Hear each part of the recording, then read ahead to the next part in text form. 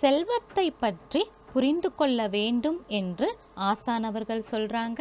வாங்க என்ன சொல்றாங்கன்னு கேட்கலாம். சிந்தனையில் மாறினால் நீயே என் சிந்தனை நீயே என் செயல் நீயே என் எண்ணம் நீயே என் நோக்கம் நீயே என் சித்திகள் அத்தனையும் நீயாக இருந்தால் எனக்கு எந்த வாழ்க்கையில் எந்த குறையும் வராது.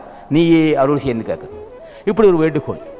எதிலிருந்து நிலையில நிலையாமல் இருந்து நிலையானதை பெற்றுக்கொள்ளணும் வள்ளுவன் சொல்லுவான் கூத்தாட்டவைகளா தற்று பெருஞ்செல்வம் போக்கும் அறிவு நீ தட்ட செல்வத்தை பற்றி புரிந்து கொள்ளலாம். ஏ மனித வர்க்கமே உன்னுடைய கதையை உன்னுடைய பாஷையிலே பேசுகிறேன். ஓம் பாஷையிலே நீ காக்க காணக்கூடிய பாஷையில் உன்னுடைய பாஷையில் பேசுகிறேன். நான் சினிமா ஹோட்டலில் கூட்டம் சேரும்.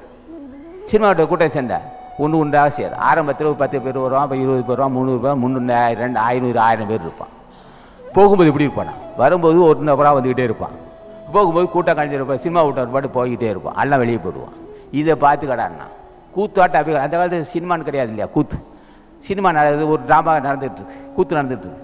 கூட்டம் சே ஒன்று ஒன்றா சேரும். பிறகு கூட்டு கூத்து முடியும்னா எல்லாம் ஓடி போடும். இதை பார்த்து ஓம் பாசிலே நான் பேசுகிறேன் வல்லவன் தான் பெரிய ஆளாச்சா? முற்றுப்பட்ட முடியும் முனிவன் அல்லவா? மரணமில்லா பெருவாள் பெற்றமே வள்ளுவ பெருமான் என்றால் வாழ்க வாழ்க என்பான். வள்ளுவ பெருமான் என்றால் லஞ்சல் எஞ்சல் என்பான். வள்ளுவ பெருமான் என்றால் பயப்படாத மகனே என்பான்.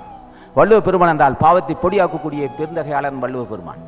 அவன் சொல்கிறான் ஓம் பாசி நம்ம பாஷையில் பேசுவான். சினிமா கோட்டை நீ பார்க்குற கூத்து கொட்டை கூத்து சினிமா கோட்டை பார்க்குறீங்க சினிமா கோட்டை அது டிராமா கொட்டை பார்க்கல. அங்கே எப்படி கூட்டம் சேருதோ அப்படி தான் அவன் செல்வான். கூத்தாட்டு அவைகுலா தற்று. அவை என்ன? அரங்கு அவைகுலா தற்று.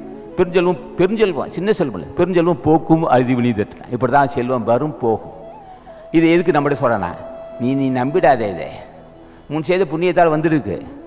வினை வினை நல்வினை இருந்தால் தீர்ந்து போனால் ஓடி போடுறான். புரிந்து கொண்டு மனித பிற- மனிதர்களே மனித வர்க்கமே பிள்ளைகளை பிரிந்து கொள் என்று வள்ளுவன் நமக்கு சொல்லுவான். இப்படி ஒரு வார்த்தை. அப்படி சொல்வான் சரி நிலையில்லாத பொருளை இப்போ இது சொல்றியே ஐயா. செல்வம் வந்து சினிமா வட்டார கூட்டம் சில மாதிரி சேரும் அப்படி போயிடுன்னு சொல்றியே. இதை வச்சு என்ன செய்யறது? என் திருக்குறை நன்கு படித்துப்பார். மூன்றாவது ஒரு சொல்லியிருக்கிறேன். அற்காய் அற்காயல் விட்டு செல்வம். அது பெற்றால் அற்குவா அங்கே செய்யலாம் நிலையில்லாத செல்வத்தை பெற்றிருக்கிறாய். இப்போ என்ன செய்யணும் நிலையான தர்மத்தை தான தர்மத்தை செய்து கொள். நிலையில்லாத செல்வத்தை பெற்ற நீ நிலையானது செய்து கொள் என்பது மூன்றாவது பாடாக இருக்கும் இதை சுருக்கமாக சுற்று இப்படியெல்லாம் பல வகையாக சொல்லியிருப்பா அதுதான் அள்ளி அள்ளி கோட்டாங்க கடலாச்சே எப்படியா உனக்கு இந்த அறிவு வந்ததுன்னா? தேகம் மாசு நீங்கியதுரா மனகனே. உனக்கு மட்டும் எப்படியா இந்த ரகசியம் தெரிஞ்சுன்னா தேக மாசு நீங்கியதுரா காம தேகம் நீங்கியது கருணை தேகம் பிறந்தது. காம தேகம் நீங்கியது உள்ளுடம்பு தோன்றியது.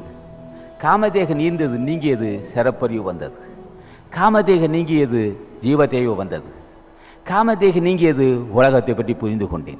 நான் எழுதியிருக்கிறேன். இந்த நூல் முற்று பெறும்போது எழுதியது. முற்று பெற்ற பின் எழுதியது. இந்த திருக்குறள் முற்று பெற்ற பின் எழுதியது.